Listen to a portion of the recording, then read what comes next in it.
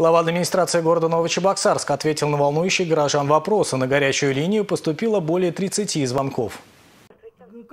Вопросы касались всех сфер жизни. Многих интересует, как проходит благоустройство дворов и когда начнется ремонт проблемных участков дорог. Ангелина Семеновна пожаловалась, что в ее дворе по улице 10-й пятилетки владельцы машин оставляют свои автомобили прямо на детской площадке. Совершенно правильно, что вы обратили внимание на то, что каждая территория должна нести свою, свою функционал. Детская территория для детей. То, что машина заезжает, это все незаконно. Обещаем сегодня отреагировать отреагируем, направим э, паркон, значит, будем нарушителей штрафовать, наказывать. Горячая линия проводилась в редакции газеты «Грани». Помимо звонков в адрес издания поступило еще 80 вопросов. Ответы на обращения появятся 1 мая на страницах газеты и сайте городской администрации. Обязательно мы выезжаем по всем точкам, которые а, прозвучали. Смотрим действительно сами, какая ситуация, как описывают ее горожане, насколько серьезные проблемы.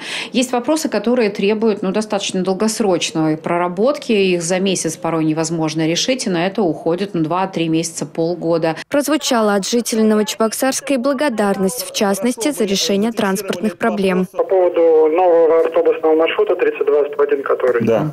Э, огромное вам спасибо человеческое, что вот я уже две недели этим маршрутом пользуюсь каждый день. Очень удобно передвигаться.